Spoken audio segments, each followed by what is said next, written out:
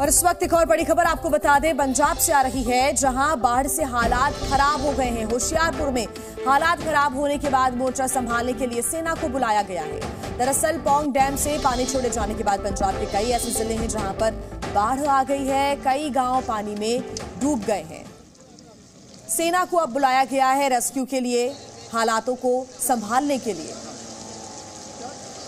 होशियारपुर में हालात खराब हो गए हैं और उसके बाद मोर्चा संभालने के लिए सेना को बुलाया गया है दरअसल, पोंग डैम से पानी छोड़े जाने के बाद पंजाब के ऐसे कई ज़िले हैं जहाँ पर बाढ़ आ गई है